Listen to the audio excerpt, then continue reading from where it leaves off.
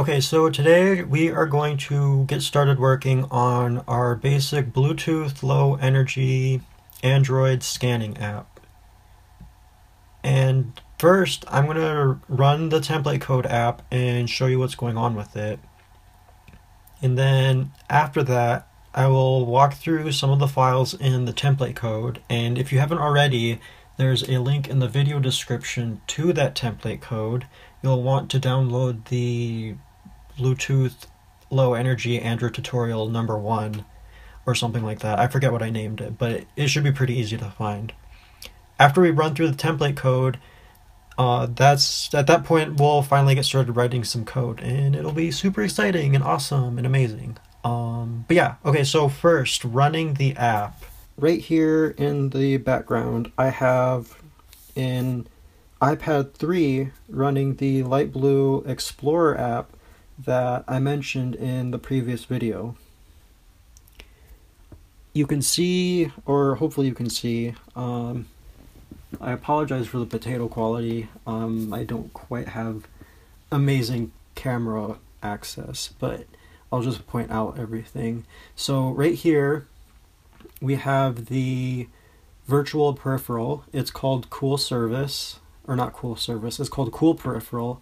And when we click onto it, we see that there is the UUID of the peripheral, and then we see the service. There's a UUID for it as well, and it has three characteristics, each with a read, write, and notify property. So we are going to turn it on. So it's on right now, and the iPad is emitting Bluetooth low energy data. And then we have the Android device that we're going to use, or that I'm going to use, it is a uh, BLU Studio 5.0, I believe. Um, I don't remember exactly, but anyways, we're going to run the app, and so you can see it. And there is the start button, start scan button at the bottom, and when we click on it,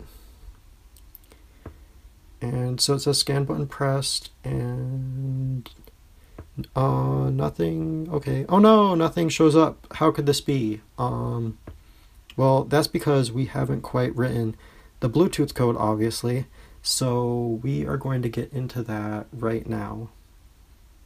First looking at the files in this code we'll open up projects and you can see uh, files here. So The first one is the broadcast receiver underscore BT state. And basically, this will detect when the Bluetooth on the device changes state. So when you turn Bluetooth on or off, some toast notifications will pop up and let you know what's going on. This class doesn't do anything more than this, and we will likely not go into it at all. I just created it so it can help you with debugging. Besides that, don't worry about it. The next one is BTLE underscore device. This is a wrapper class for the Bluetooth device objects. We need it to store the RSSI values when our scanner detects the device in the Bluetooth devices in the wild.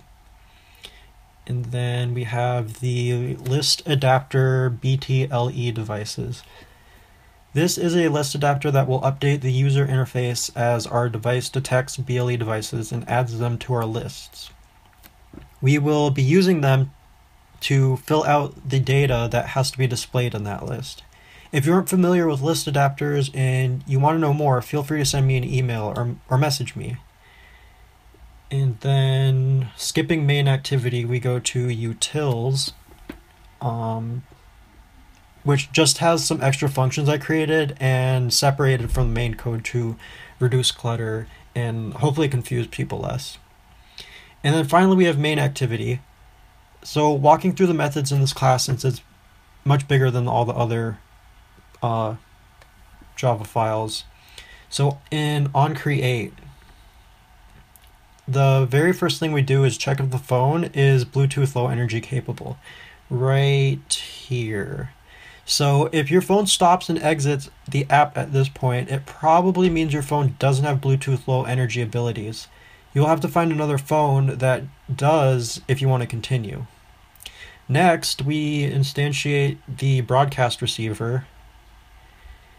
And then we also instantiate the lists that are going to keep track of the Bluetooth devices. And then we instantiate the adapter that will update the user interface as our lists change. And then we add the list view to the UI right here. And then we change the text that's inside the button. Or, I mean, not the text, but we set an on click listener for the button. And then in our on start and on stop methods, um, we don't use on resume or on pause, but in our on start and on stop, we register the Bluetooth state update receiver, um, which is going to tell us when the Bluetooth state on the device changes. Uh, you don't really need to worry about about those functions, but but they're there um, in case you want to know what they're about. And then on activity result, this also has to do with the Bluetooth state. When the app asks the user to turn on Bluetooth, a dialog will pop up giving them the option to turn it on. When that dialog is exited, it will return to this method. Um, you don't need to worry about that either. Uh, I just have it there so that um, it'll remind you to turn on the Bluetooth on your device if you have it turned off. Otherwise, the, the app isn't going to work. And then in the next method, we have on item click. This method is called whenever an item is clicked in the list view on the user interface. We'll need it in future BLE tutorials, but for now, we won't be using it for our scanning app, so you don't really have to worry about it.